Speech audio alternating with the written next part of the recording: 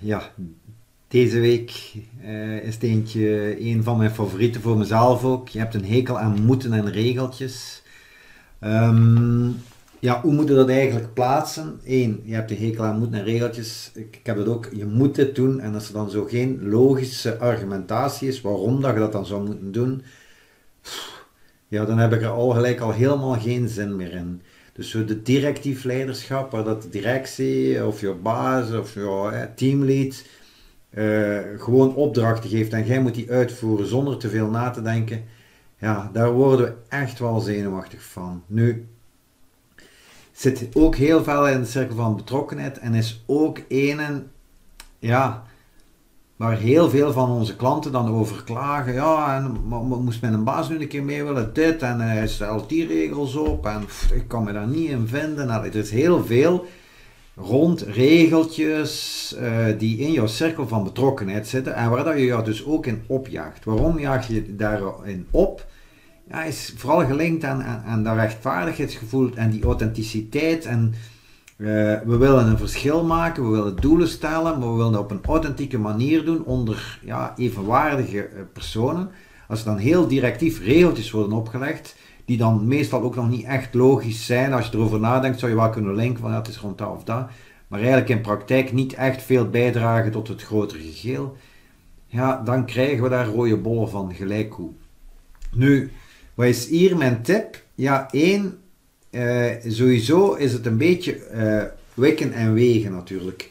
Um, als je in een job zit uh, of in een situatie waar dat, dat continu het geval is en je kunt daar geen vat op krijgen, zelfs met alle andere tips te volgen die ik jullie al gegeven heb, dan heb je toch weer in jouw cirkel van, van invloed de keuze om dan echt voor een nieuwe job te gaan.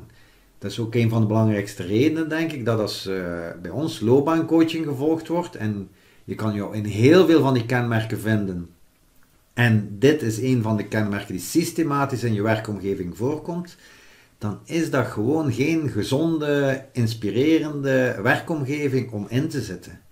En dan moet je echt, hè, de tip is, uh, life is short, do stuff that matters. Je wil een verschil maken, je leeft maar één keer. Het grootste deel van die tijd zit je ook nog niet op je werk.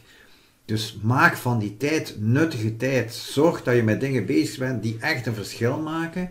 En zit je in een situatie waar dit uh, schering en inslag is en de meest normale zaak van de wereld, ja, dan is niet de plaats waar je moet zijn.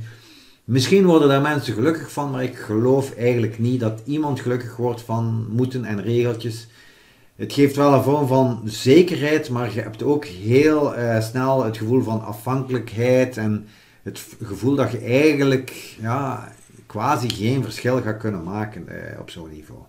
Dus Evalueer waar ben je. Kan je hier uh, dingen corrigeren? Doe het dan. Zeker als het een job is die op zich wel leuk is. Zit je volledig in een keurslijf? Kijk dan even rond. Beslis niet te snel. Niet nu de, straks uh, sturen naar hun baas en zeggen ik trap het af.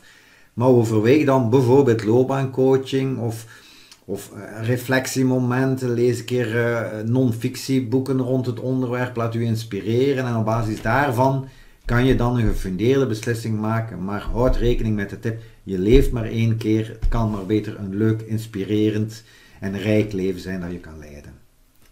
De keuze is aan u. Veel succes. Je mag altijd vragen stellen in de commentaar of via mail of whatever. Ik doe mijn uiterste best zo goed mogelijk te antwoorden. En uh, ik zie al uit om de volgende tip ook te geven. Doei.